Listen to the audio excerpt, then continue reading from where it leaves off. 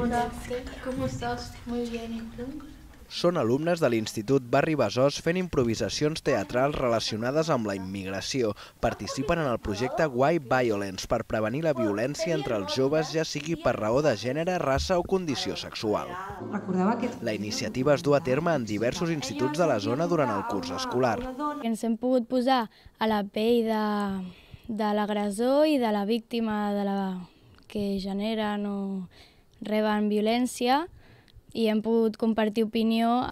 Es fa a través de diferents activitats artístiques i sortides. Per exemple, avui han visitat el Centre Audiovisual Sant Martí, on han participat en un taller sobre el paper dels mitjans en la prevenció de la violència i on han après a fer una notícia. Per mi ha sigut una experiència molt interessant que m'hem pogut aprendre moltes coses perquè pues, és un tema que no s'acostuma a parlar gaire als instituts.